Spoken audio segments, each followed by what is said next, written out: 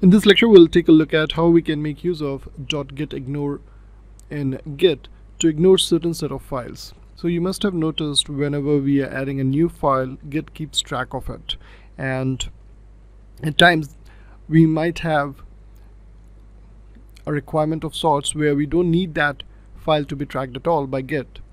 In order to do that we have to make use of git ignore file over here you can see that I have mentioned few of the things like file extensions which needs to be ignored for example star.txt, star.log, star.zip or a directory altogether asset slash images.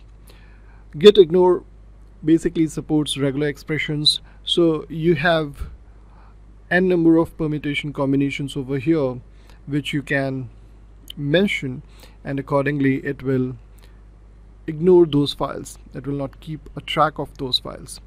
So let's see one such example in action. Over here I'll be adding a new file and let's call it as sample.log now you can see I have created this file and let's add something to it. So here we are saying this is a log file.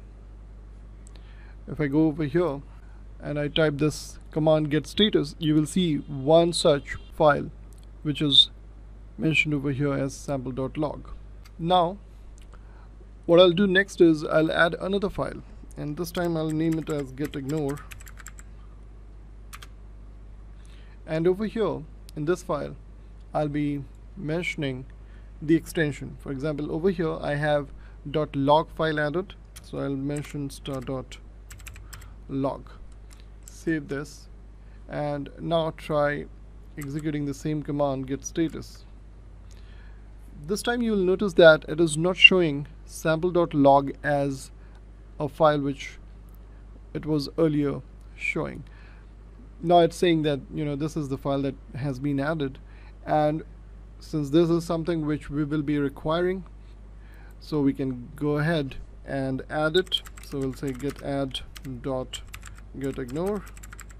And after that we can just go in and say git commit minus am and we can just write add dot git ignore file.